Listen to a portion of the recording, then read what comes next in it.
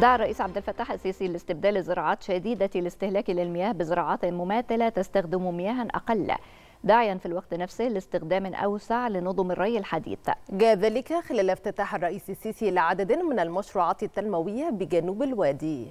طب الأراضي اللي بتتري بالري ال- بالغمر من غير نظم ري حديثة. إحنا هنا مكلفين فلوس كتير قوي. طب ليه؟ عشان محاولين إن إحنا بما إن إحنا بنزرع الأراضي ديت يبقى من الأول كده نحط كل النظم اللي تخلينا نستخدم آه، أقل حجم من المية في الإنتاج. طب ما هو ممكن آه، أنا آسف أقول يعني بال 11 ملي- مليون متر مية في اليوم دول يكون في الدلتا بيتزرع بيهم أقل من كده أقل من الكمية ديت. ليه؟ لأنه نظم ري مش مش كلها حديثة يعني.